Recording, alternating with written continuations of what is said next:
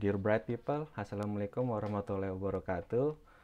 Um, ini saya buat video sebelum berangkat kerja nih, karena ini masih hot kan ya beritanya dan semoga bisa bermanfaat juga buat teman-teman, khususnya buat teman-teman uh, CPNS yang kemarin sudah diumumkan hasil SKB-nya dan saya ucapkan selamat buat teman-teman yang sudah lolos SKB, selamat berkontribusi dan jangan lupa perjalanan masih panjang sampai ke nanti sampai benar-benar mendapatkan SK CPNS nanti ya. Uh, mungkin untuk yang belum kenal saya Dimas Prasetyo Muharam, bisa dipanggil Dimas. Saat ini saya status sebagai PNS di Badan Penelitian dan Pengembangan Kementerian Pendidikan dan Kebudayaan. Jabatan saat ini adalah peneliti ahli pertama jadi sebagai JFT, jabatan fungsional tertentu. Uh, mungkin saya ingin sharing ke teman-teman pengalaman saya sewaktu um, um, CPNS tahun 2018 uh, penerimaannya ya penerimaan CPNS tahun 2018 untuk khususnya mengurus surat uh, keterangan jasmani dan rohani itu ya karena itu ya salah satu yang berkas yang penting sekali ketika teman-teman dalam tahap pemberkasan ini setelah lolos SKB. Oke, sebelumnya ada beberapa hal yang penting buat teman-teman pegang ya.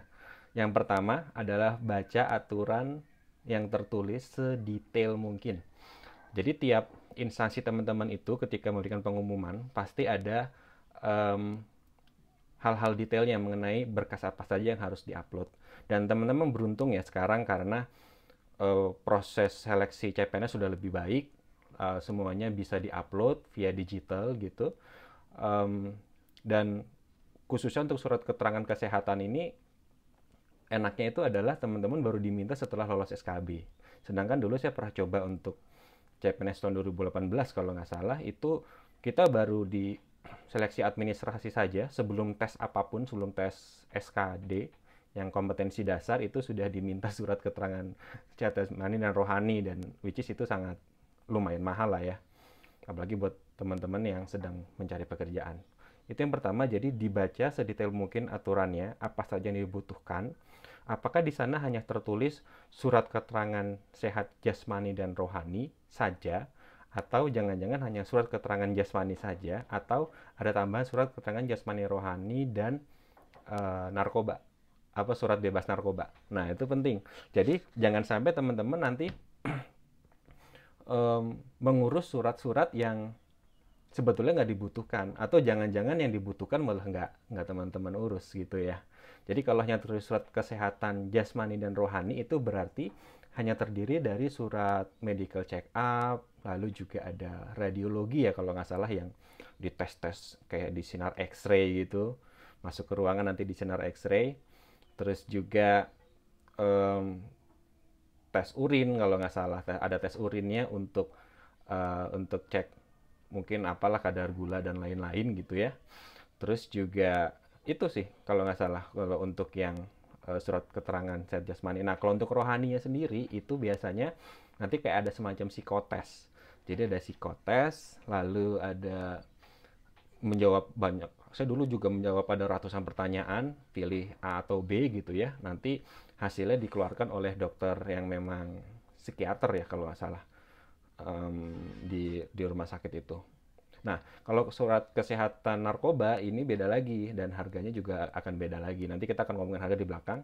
Itu di luar yang medical check up biasa itu. Itu akan ya sama sih cuman diambil urin saja tetapi itu ada porsinya tersendiri. Jadi teman-teman itu ya, yang pertama dilihat aturannya apakah hanya surat kesehatan jasmani, rohani atau plus narkoba atau kesemuanya. Nah, yang terus yang kedua, tips yang kedua uh, lihat lagi aturannya untuk memprosesnya itu di mana biasanya rata-rata sih umumnya itu disebutkan bahwa yang mengeluarkan surat keterangan itu nanti adalah dokter PNS atau dokter yang bekerja di rumah sakit pemerintah. Nah, untuk amannya, untuk amannya teman-teman cari saja menuju ke rumah sakit umum daerah saja, RSUD gitu ya. Kalau saya karena di Jakarta, saya waktu itu ke RSUD Pasar Rebo. Saya waktu itu. Jadi kalau rumah sakit umum daerah udah udah hampir pasti ya itu dokternya PNS gitu ya. Jadi aman. Dan biasanya harganya itu standar kalau di RSUD. Harganya standar nggak jauh-jauh beda.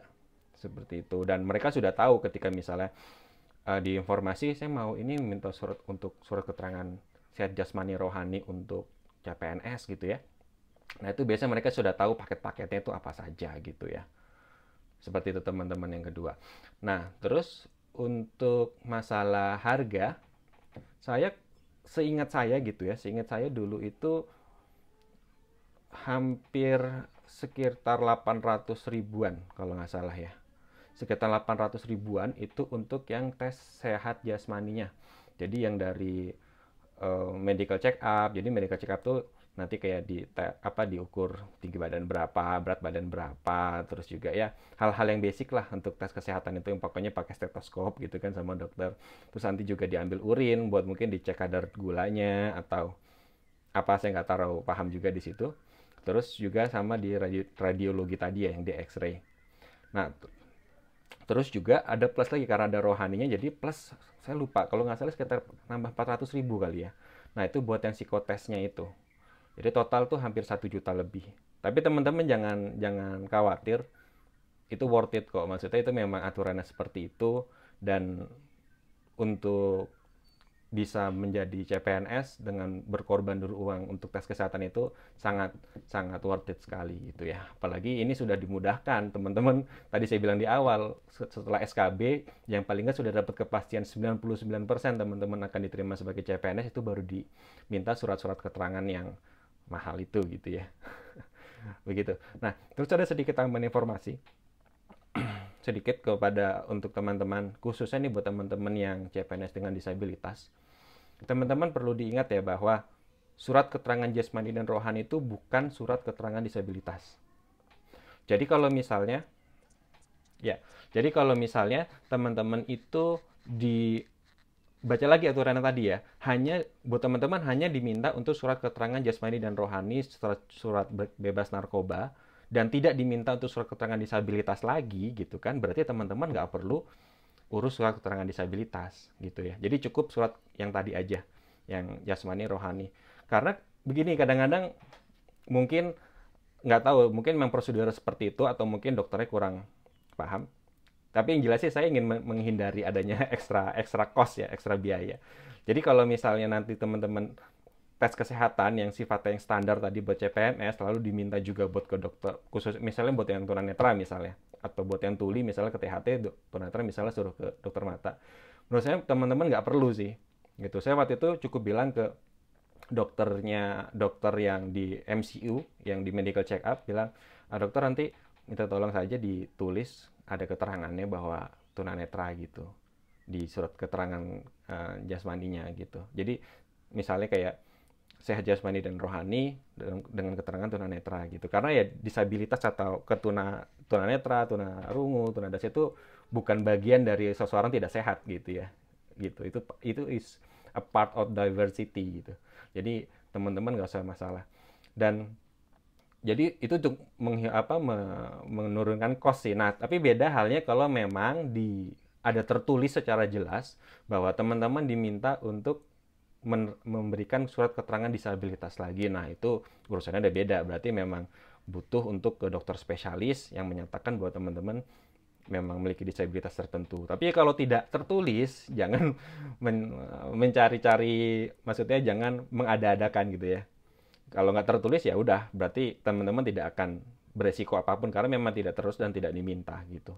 Jadi itu teman-teman sedikit tips mengenai surat kesehatan jasmani dan rohani dan juga surat bebas narkoba.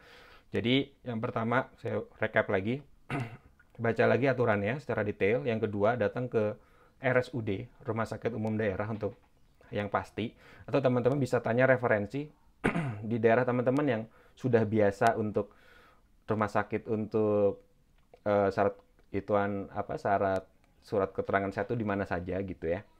Yang ketiga, buat teman-teman disabilitas lihat lagi aturannya dan bedakan bahwa surat keterangan jasmani dan rohani itu bukan surat keterangan disabilitas beda ya. Jadi kalau hanya dibutuhkan jasmani rohani cukup itu saja. Oh ya dan satu lagi, ini yang penting juga. Kalau bisa di uh, awal waktu ya, jangan ditunda-tunda. Kayak misalnya contoh di Pemprov DKI itu kan dia baru diminta untuk pemberkasan tanggal 6 sampai tanggal 15 kalau nggak salah. jangan menunggu tanggal 6 baru baru ini baru ke rumah sakit. Tapi dari makin cepat makin baik gitu ya. Karena prosesnya itu bisa sekitar tiga hari ya. Jadi misalnya yang pertama itu datang registrasi.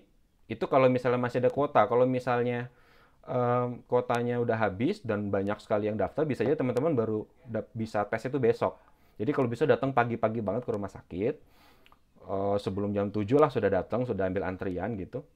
Lalu um, bayar dan biasanya itu kalau ada yang tes rohani itu bisa jadi kalau misal teman-teman datang pagi-pagi bisa jadi masih bisa ikut tes rohani yang siang hari atau kalau udah agak siang datangnya disuruh datang lagi besok gitu kan buat tes yang rohaninya itu.